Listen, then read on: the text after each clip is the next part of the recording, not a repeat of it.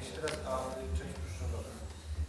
I ja proponuję też, żeby przemyśleć taki kompromis, który właściwie nie będzie żadnym odkryciem. To znaczy zrealizować budżet dzielnicowy zgodnie z tym, co prawo miasto, prawo do miasta robiło w tamtym roku, z tą procedurą i budżet miejski z tą procedurą, która jest proponowana ogólnie przez pana Dziennika, żeby robić budżet partycypacyjny i z głosowania we wrześniu jako taki kompromis. I wtedy mamy sytuację, no, możemy przejść dalej po prostu. I to są rozwiązania, które Państwo sami daliście w jakiś sposób. Także to jest, żeby się zastanowić. Niekoniecznie rozmawiać o tym teraz. Żebyśmy może już po prostu poszli krok dalej, no bo tak musimy cały czas Dziękuję Dominik. Szanowni Państwo, nie wzbudzajmy teraz dyskusji na temat terminu i tak dalej, tylko podsumujmy to i ustalmy sobie termin spotkania i dajmy dwóm panom z urzędu możliwość przedstawienia tego, co chcemy przedstawić. Dominik, ostatni głos, ja to podsumowuję. Ja zwracam uwagę na, na poprzednim na zespołach, że jest potrzebne też, abyśmy się ustosunkowali do poszczególnych zapisów projektu uchwały, ponieważ z tego co pamiętam, do 11 lutego mamy termin na to poprawiać, tak? Więc pewne zastrzeżenia trzeba, jeśli takie pojawią, trzeba będzie, yy, trzeba będzie wnieść yy, podmiot do poprawki do tego projektu, oczywiście będzie to, będzie to niemożliwe, więc yy, chciałbym, żebyśmy porozmawiali o konkretach, bo jednak yy, z tym harmonogramem z tym harmonogramem będziemy mieć problem, problem natomiast na harmonogramie się sprawa nie kończy, ale co do harmonogramu,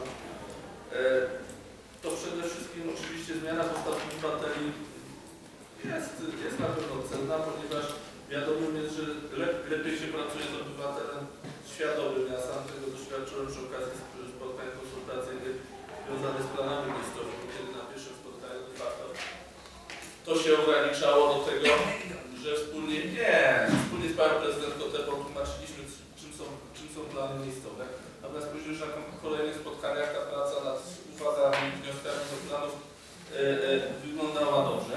Natomiast no, trudno mi też nie stwierdzić faktu, że jednym z elementów e, procesu e, zmiany postaw, czy też uświadamiania e, obywateli jest pokazaniem efektów ich zaangażowania. Stąd faktycznie ja, ja zawsze o tych i kładę nacisk na te, na te efekty. Oczywiście praca z obywatelami Królewsko-Stołecznego Miasta Krakowa jest bardzo trudna i, i to wszyscy wiemy. Jeżeli chodzi o pieniądze, no trudno, żebyśmy nie mówili o pieniądzach, skoro, skoro część z w takich ciach jak Komisja Budżetowa jest odpowiedzialna za stan finansów naszego miasta. Podobnie jak, podobnie jak przedstawiciele urzędu, przedstawiciele prezydenta, więc musimy mieć to z, z tyłu za plecami. Ja sobie nie wyobrażam, byśmy o tym zapominali. Jeżeli chodzi no, o tych terminów, no to faktycznie to nie ja mówiłem, że jest potrzebne 6 tygodni na przeprowadzenie konkursu ofert, tylko to Pan mówił. E, i, I to było jeden z argumentów na opóźnienie, e, że taki argument był użyty przez Pana, jako jeden z argumentów na opóźnienie e, działań, że jest potrzebne zorganizowanie konkursu ofert e, w zakresie tych działań operacyjnych. No ten harmonogram musi się skończyć e, na październiku. No, jeżeli Pan w dyskusji używa, e, e, używa poglądu, czy używa argumentów, e, e, które nie są merytoryczne, tak, tak zwanych mm, argumentów no, ad personam, tak naprawdę, jeśli chodzi o to między innymi zarzuty polityczne, e, no to trudno się oczekiwać, żeby osoby indakowane nie używały, czy nie wskazywały innych argumentów. Więc proponuję, żebyśmy sobie mm, dali spokój e, e, z tego, z tego typu wycieczkami, wtedy nam się będzie lepiej pracować, jeżeli Pan przestanie używać w stosunku do nas zarzutów w zakresie politycznym, a, a ja nie będę używał argumentów w zakresie ostatniego konkursu ofert. Ja mówię jeszcze raz, jeżeli chodzi o, jeżeli chodzi o sam fakt harmonogramu, to jest sprawa wtórna, jeżeli chodzi o uchwałę Rady Miasta Krakowa. Powtórzyłem to na spotkaniu, że tak naprawdę nawet tego harmonogramu, który uchwalenie musi być wpisany, to może być decyzja później wypracowana w zarządzeniu. Rzeczywiście, jeżeli wypracujemy to później, no to ten harmonogram będzie będzie, będzie dłuższy i przedłużony. Ja bym oczekiwał od, od zespołu pochylenia się, przeanalizowania, zgłoszenia uwag na, do co projektu uchwały, konkretnie dwa. Na szczęście Pan Przewodniczący Rady Miasta Krakowa wdrożył procedurę konsultacyjną, w związku z tym pewnie, jeżeli nie na zespole, to na tych w ramach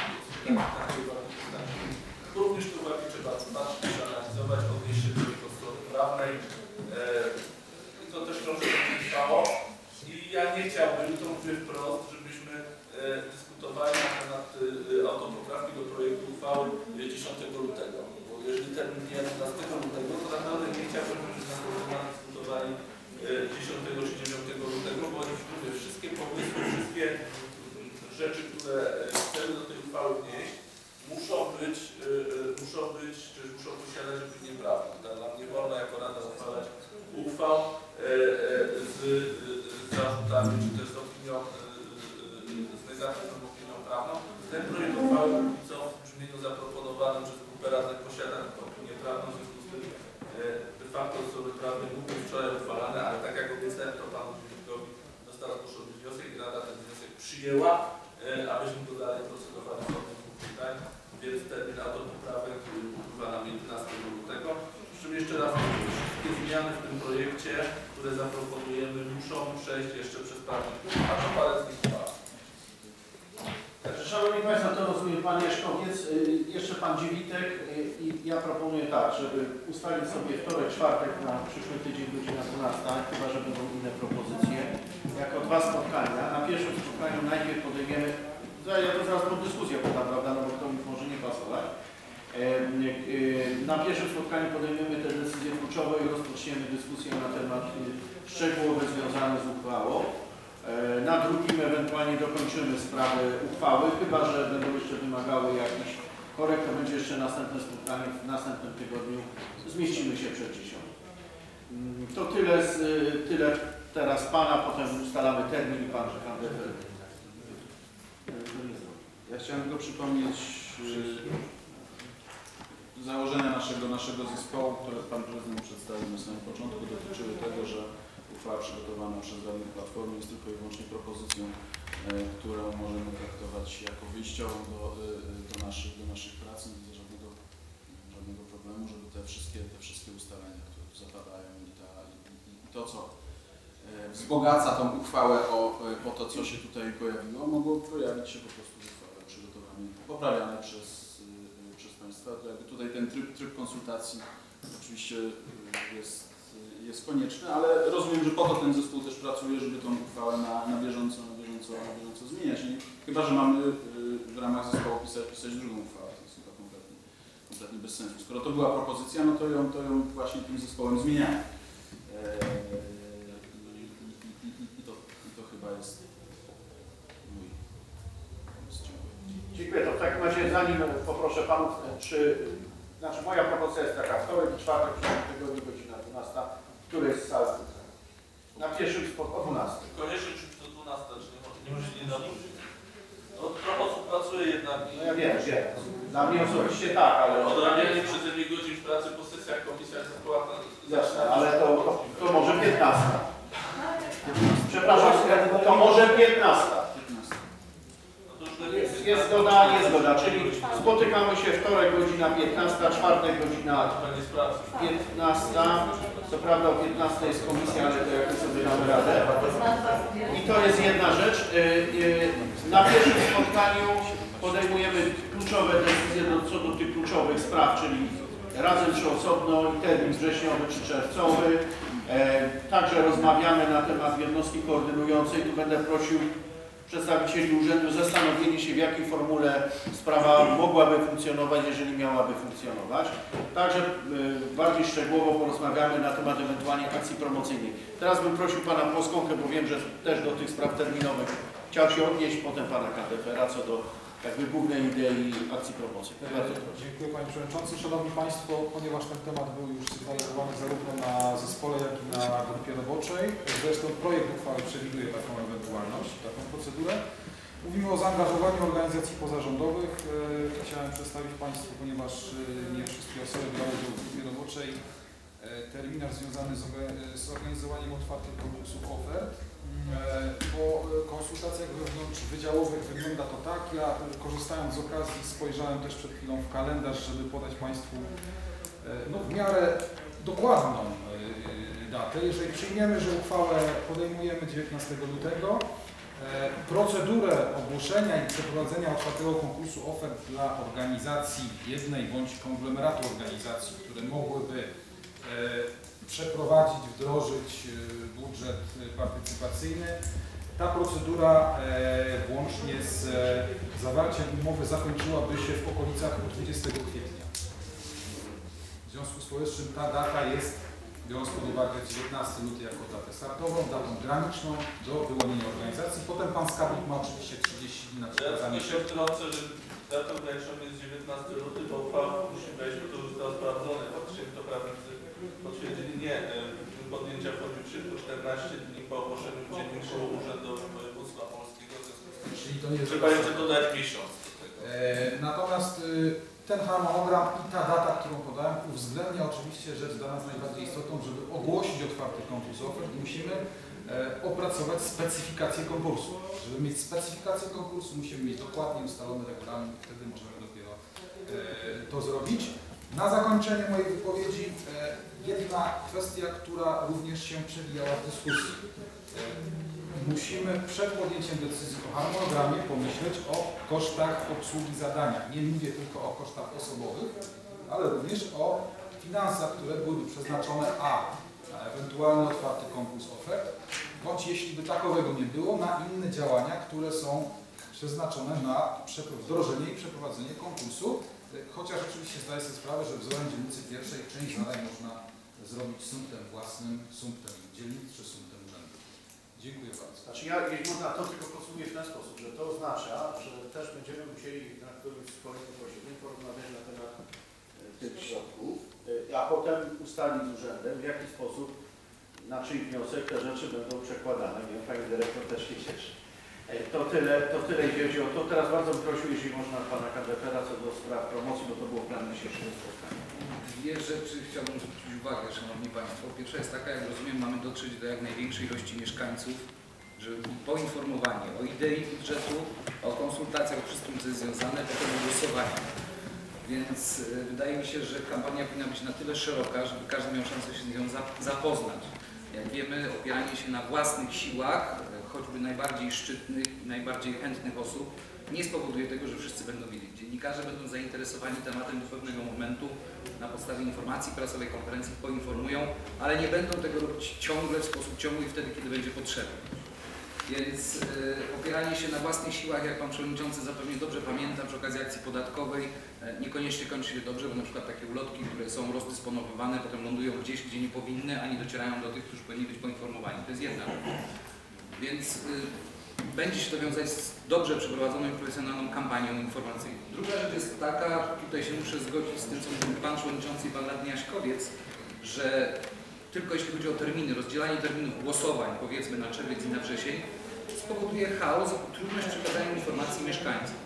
Dlatego, że trzeba będzie formułować komunikat tak, żeby oni się w tym nie pogubili, a jak znam życie, to się pogubią, ponieważ Państwo wszyscy wiecie, co jest ideą budżetu partycypacyjnego, a mieszkańcy czasami w ogóle nie mają świadomości o co chodzi, więc do nich taka informacja, jeśli będzie docierać dwukrotnie, w sposób skomplikowany, może nie dać to po prostu skutku. Pomijając już fakt, że zależy, jak rozumiem, też na tym, że jeśli będzie głosowanie we wrześniu czy październiku drugie, jeśli by do tego miało dojść, to trzeba będzie też zależało na, będzie na tym, żeby jak najwięcej ludzi przyszło zagłosować. Nie tylko w tej pierwszej części wziąć udział, ale również w drugiej. Co oznacza, że kampanię trzeba będzie powtórzyć. Może nie w całości, ale w jakimś stopniu określonym trzeba będzie powtórzyć. Mogę potwierdzić to, co padło na poprzednim Waszym spotkaniu, znaczy na zespo- zespole roboczym, że y, ponieważ y, ja nie znam kwoty, muszą Państwo mi określić, jaką kwotą dysponujemy, jeśli chodzi o działania promocyjne. Ta kwota musi być znana, wtedy dopasujemy środki, jakie są możliwe. Natomiast y, przestrzegam przed zbyt niskim udziałem tych środków, dlatego że spowoduje, że nie dotrzemy do wszystkich, jakbyśmy chcieli. Jeśli będzie to kwota wysoka, powyżej 64 tysięcy złotych, na pewno będziemy mieli przetarg. Więc przetarg, samo przeprowadzenie przetargu od momentu rozpoczęcia działań przetargowych na działania informacyjne to jest minimum jeden miesiąc, w tempie takim powiedzmy średnim, tak? Nie, nie robimy tego na zapalenie płuc, ale też nie robimy z bezpiecznymi terminami, tylko to jest przynajmniej miesiąc i liczymy na to, że przetarg się rozstrzyga, jest y, zgoda na to, żeby ten prze, przetarg rozstrzygnąć, czy wszystko nas zadowala, nie ma żadnych odwołań i możemy ruszyć z kampanią. Więc to jest kolejna rzecz, którą należy brać pod uwagę, jeśli chodzi o kampanię informacyjną. No i najważniejsza informacja, jaka jest kwota na kampanię informacyjną przeznaczona. Wtedy dopasujemy, co można zrobić, wyceny mamy, terminy są takie, jakie podawała Pani Dyrektor Grabowska, czyli na, im wcześniej rezerwować nośniki, jakie będziemy chcieli, tym lepiej, bo będziemy mogli wybierać, co chcemy, co chcemy dobrego. To w tej chwili tyle. Znaczy, konkluzja z tego, co Pan powiedział, jest taka, że także na następnym spotkaniu powinniśmy wstępnie porozmawiać na temat skali struktury budżetu na tej części, nazwijmy to operacyjnej, ponieważ to pozwoli potem ewentualnie wydzielić z tej, tej puli jakieś środki na te rzeczy przeprowadzić to yy, w budżecie, bo my na razie mamy ogólną pulę i też no, musimy działać zgodnie z przepisami. też sugerowałbym w związku z tym, żebyśmy się nad tą sprawą na następnym spotkaniu osobno e, zajęli. Szanowni Państwo, czyli ustalenie jest takie. Dziękuję bardzo Panu Dyrektorowi, chyba że są jakieś pytania do jednej i do drugiej osoby. Nie widzę, w takim razie dziękuję. Szanowni Państwo, ustalimy, że spotykamy się wtorek 15 i czwartek 15. We wtorek po pierwsze rozmawiamy o tych najważniejszych sprawach i poświęcimy na to pierwszą część. Potem poświęcimy część na, ustal- na wstępne przynajmniej przymierzenie się do tych spraw budżetu operacyjnego i wstępne przymierzenie się do, do yy, kluczowych spraw, jeśli chodzi o. Tak, żeby na następnym spotkaniu móc te sprawy zakończyć, no chyba, że to się nie uda, to na spotkaniu w następnym tygodniu, żeby to móc zakończyć, no bo zgodnie z terminami musimy to zrobić. Czy są w tej kwestii jakieś pytania? Ustanie, proszę. Pytanie, e, tego czwartego, jak to ustalić? Będziemy głosować, bo chyba kompromisu nie wypracują. Znaczy, wiecie Państwo, głosowanie ma o tyle, e, że tak powiem, bezsensowne jest, że tutaj, no, to, to, to, nie, nie, zresztą ustalimy sobie. Moim zdaniem będziemy próbowali dojść do konsensusu, jeżeli do, do konsensusu nie dojdziemy, to będziemy się zastanawiali, jak to zrobić. Znaczy nie, no sprawa jest już sprawa jest po prostu że zarządzeniem prezydenta prezydent określa harmonogram. Tyle. No to będzie rozwiązanie, ale myślę, że to będzie rozwiązanie. Nie, nie, słuchajcie, w tym tygodniu nie będzie prezydenta, więc nie, nie chciałbym, żebyśmy takich decyzji podejmowali e, bez jego obecności, prawda? Bo to, to, to, mm, e, to, to jest, e, jeżeli jest szefem zespołu, to Natomiast jedną rzecz chciałbym, żebyśmy przynajmniej określili ten docelowy harmonogram już na kolejne lata. to. To jest tak naprawdę najważniejsze. Bo tutaj mamy o tyle dobrze, że mamy ten rok y, poprzedzający rok realizacji zadań, trzy lata zadań, które się ma raz zrobić. A no ten harmonogram na rok 2014 nie wiem. No, tak jak mówię, no jeżeli nie dogramy, no to wtedy będzie, moim zdaniem uchwale przynajmniej pojawi się autopoprawka, że to będzie zarządzenie prezydenta określane i dalej się będziemy spotykać i to określać. Co jest jakimś rozwiązaniem prowadzącym się kończymy. gdzieś prowadzącym. Szanowni Państwo, czy są jakieś sprawy? Dziękuję bardzo, ustalimy termin i sprawy.